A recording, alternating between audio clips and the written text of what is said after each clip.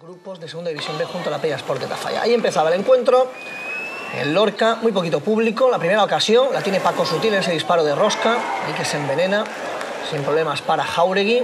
Jaén estaba jugando bien en la primera parte del encuentro. Hay un disparo desde lejos de Godino, desviado. Al Lorca incluso le llegó a pitar la afición hasta que llega el minuto 28 y en esta jugada, tras este lanzamiento que no tuvo ninguna consecuencia, llega el pase a Tarrés, ahí le bota el balón, pasividad defensiva, el centro Chando libre de marca, hace el 1 0. Luego analizaremos el tanto, era el primer gol de un Lorca que prácticamente, salvo el disparo de Jorge, no había disparado a la meta de Calleja. Se creció el conjunto blanquiazul, ahí Tarrés pudo hacer el segundo, era el minuto 35.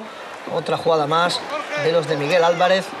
En este caso el lanzamiento de Jorge se marcha desviado y el Real Jaén tímidamente lo intentaba, como veíamos en esta jugada de Paco Sutil en los estertores de la primera parte, a la que se llegó con el resultado de 1 a 0 y con la sensación de que el Jaén aguantó bien los primeros 25 minutos, pero tras el gol se descompuso.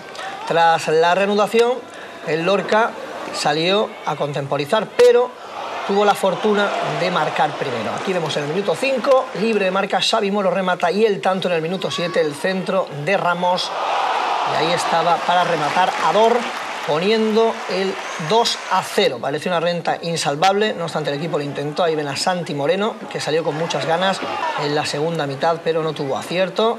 Otra ocasión más está de Carlos, el disparo que detiene Jauregui. Se vino arriba el Real Jaén, también tuvo alguna que otra ocasión en Lorca, ese disparo de Oscar Rico que salió en la segunda mitad.